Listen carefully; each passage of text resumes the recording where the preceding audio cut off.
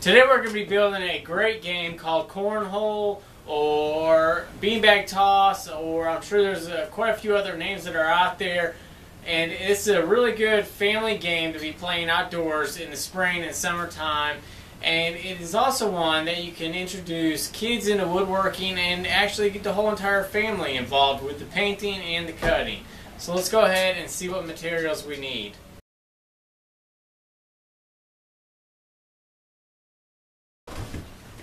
To start with, you want to go ahead and cut out your main hole to where the bean bags are going to be tossed into. I've looked at both ends. This is going to be the best end to be cutting on. And what this is, is it's going to be centered and then 9 inches from the bottom. And then you'll take your compass and make a 3 inch radius around. So you got a 6 inch diameter hole that the bean bags are going to be tossed into.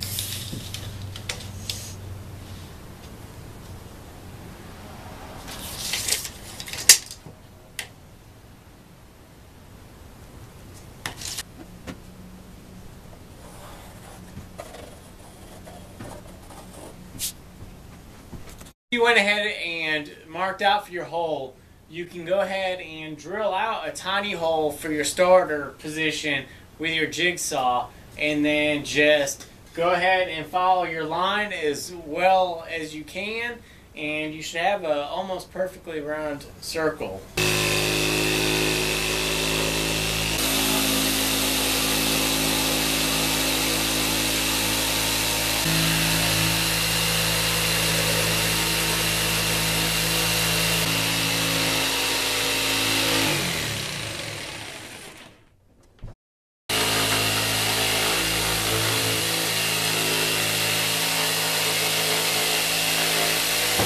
Now it's time to cut some 2x4s. Now I've got my 2x4 set out ready to cut and usually if you go and buy a 2 foot by 4 foot sheet of plywood it's relatively close to the actual 24 inch by 48 inch.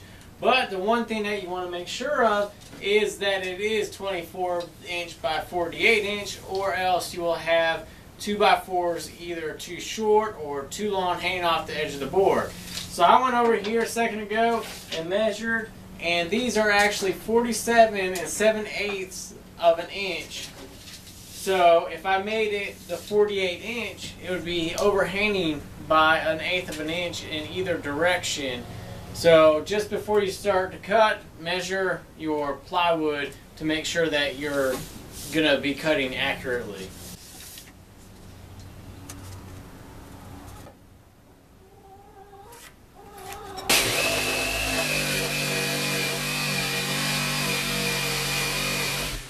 Now that I've gotten my side 2x4s cut to the length, I need to cut the top and the bottom 2x4s. And the easy way to do it is by measuring like we did on the side to see what the actual width of the board is. And this is exactly 24 inches. Same with my second one. So the easy way to get the length of that is just by doing the 24 minus the 3 inches to make for the two 2x4s that run all the way up from the top to the bottom.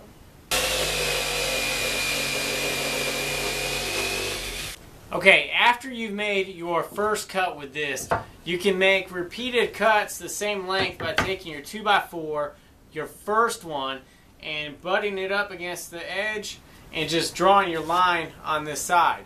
Now, if you're going to do it for the next two as well, you have to still use your first 2x4 or else your length will gradually get longer. And after that, you can see that I've got four identical length pieces, no sanding, no adjusting. That's straight from using that first 2x4 as the measurement. After you've gotten all your 2x4s cut out for all the sides, you can go ahead and assemble it two ways by, of course, adding glue onto all the ends, butt joining them, and then drilling holes in from the side. Or you can go ahead and use a Kreg jig, and that's what I'm using because I have it, and it's going to hide all the drill holes and all the screws on the inside underneath the board.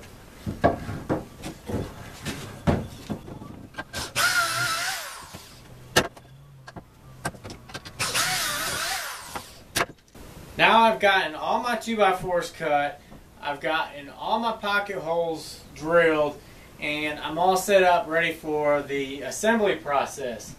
This part goes pretty quick. Um, you can, like I said, you can drill right in from the side and uh, screw everything together that way. You don't need clamps for that.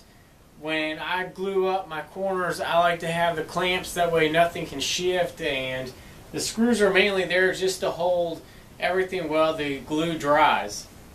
I'll put glue on the ends for the butt joints and then I'll put glue around the rim of the 2x4s for the board to actually get set on. Wiggle it around, settle it in, and then I'll go ahead and nail it with my air nailer. But you can even use just a hammer and finishing nails. That's just what I've got, so that's what I'm using.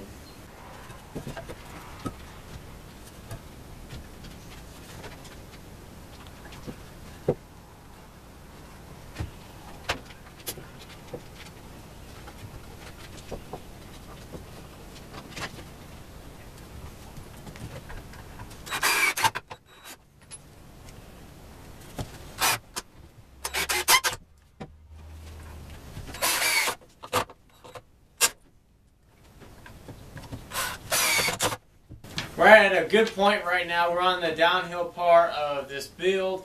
All we have to do now is create the four legs and drill the holes and put them in.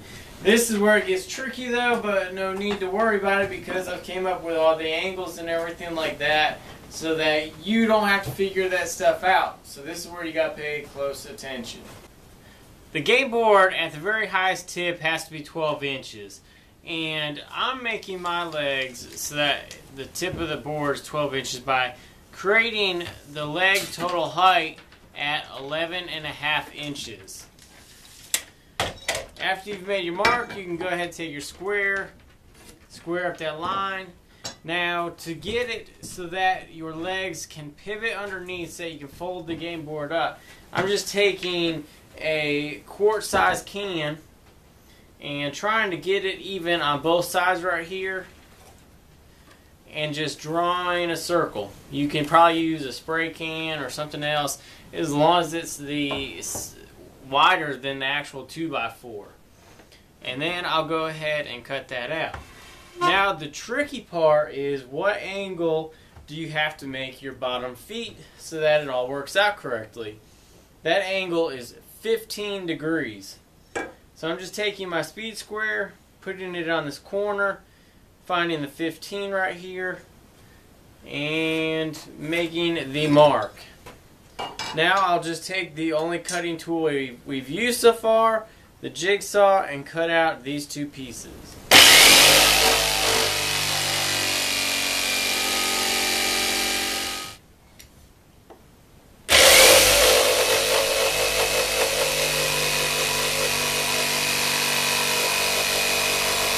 Got both of the legs cut and I am placing them on the inside of the game board. The way to make it so that your legs can swivel and not hit this back portion, you have to have pretty close measurements so that they are as close as possible up to this top rail, but when you rotate it, it won't hit and bind up. So the way that you do that is by taking one of your legs and from your highest point you can, you mark an inch and a half and then side to side because your uh, 2x4 is three and a half inches you'll mark one and three quarters of an inch. So it's centered up after you've made your mark for the inch and a half down and inch and three quarters up, you can go ahead and put it back in the game board and take a measuring tape and measure off of this top rail two and a quarter inches and your mark should land right on that spot. Now what you can do is just take your drill and try to drill as square as possible through the two 2x4s. Now that I've gotten my holes drilled, I've already attached that leg. I'll just take this one, slide the carriage bolt through. If I need some assistance, I'll just grab a hammer.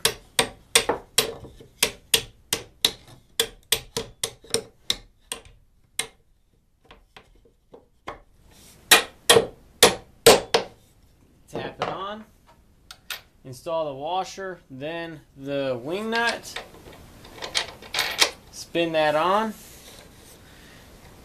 And then you have your foldable leg where this is all flush. So we'll go ahead and attach these. Make sure they're tight. Alright, so now you can see in the background I've got it turned over after I've tightened up the legs. It's flipped over. Everything's bolted down. Let's go check out the height real quick so you guys can see it. We'll grab this yardstick real quick and see how close to the 12 inches we got.